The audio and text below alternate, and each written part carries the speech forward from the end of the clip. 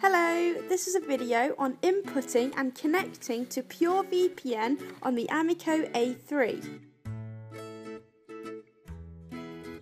You can get yourself an amazing VPN service at www.amiko.co.uk forward slash purevpn. You have a number of different payment plans, such as monthly, or you can pay for six months or a year, getting you massive discounts. Once you have selected the plan you would like, you will need to enter all your details in order to create your account. Once you have your account up and running, you will need to go to your Amiko A3 and make sure you are on the System menu. Here, you will need to go to Settings, VPN, press the red button in order to add your VPN. Here you will need to type in the name in which you would like to call your VPN. I'm going to call this one USA VPN, but you can name it whatever you'd like.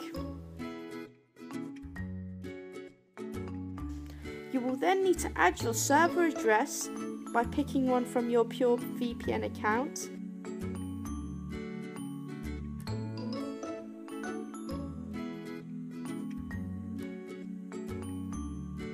and you will then need to make sure your PPP encryption is set to off.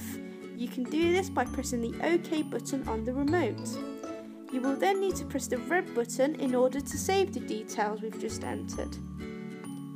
Once you're on this screen, press the OK button in order to connect to the VPN service.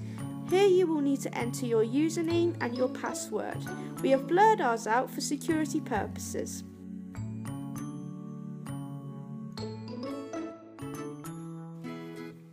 Once you've entered your details, you need to go to connection and press OK on the remote. You will now be able to see that your VPN is connected. And you'll have access to the content for whichever country you've selected.